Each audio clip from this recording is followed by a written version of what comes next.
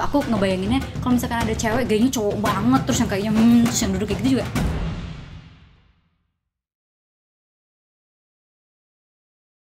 Aku sangat menemukan banyak sekali uh, teman-teman yang sukanya bergayanya feminin pakai make up baju-bajunya memang baju-baju yang suka aku pakai juga walaupun aku juga suka pakai baju-baju cowok jadi sebenarnya sama aja. Itu biasa teman-teman gue langsung kayak aduh gue kayak kalau nggak kayak pahit pahit pahit pahit gitu. Nah itu sebenarnya aku sebagai orang yang kayak melihat itu hal yang kenapa sih lo harus kayak pahit pahit pahit? gitu. Aku ngebayanginnya kalau misalkan ada cewek gayanya cowok banget terus yang kayaknya hmm, terus yang duduk kayak gitu juga aku biasa aja kok gitu. Jadi aku berusaha menempatkan sepatuku di sepatu sepatu mereka itu gitu. Apa yang dirasain pasti ada alasannya lah kenapa orang tuh suka berpakaian seperti itu atau bertingkah laku seperti itu.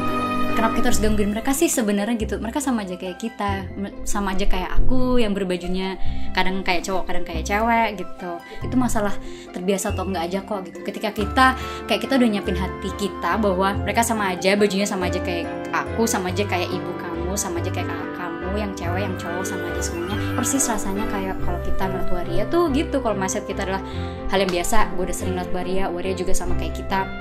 Dia bangun tidur juga sih ya makan makanan-makanan yang sama gitu. Ya udah apa bedanya sama kita? Jadi itu semuanya mindset kita sendiri sih